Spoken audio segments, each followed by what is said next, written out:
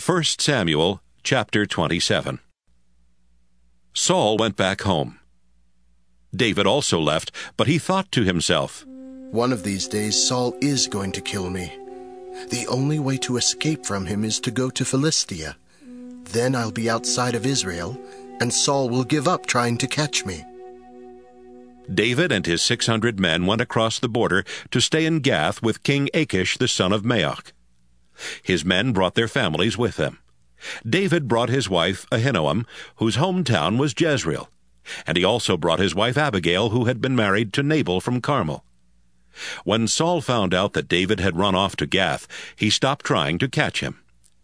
One day David was talking with Achish and said, If you are happy with me, then let me live in one of the towns in the countryside. I'm not important enough to live here with you in the royal city. Achish gave David the town of Ziklag that same day, and Ziklag has belonged to the kings of Judah ever since. David was in Philistia for a year and four months. The Geshurites, the Girzites, and the Amalekites lived in the area from Telem to Shur and on as far as Egypt, and David often attacked their towns. Whenever David and his men attacked the town, they took the sheep, cattle, donkeys, camels, and the clothing, and killed everyone who lived there. After he returned from a raid, David always went to see Achish, who would ask, Where did you attack today? David would answer, Oh, we attacked some desert town that belonged to the Judah tribe.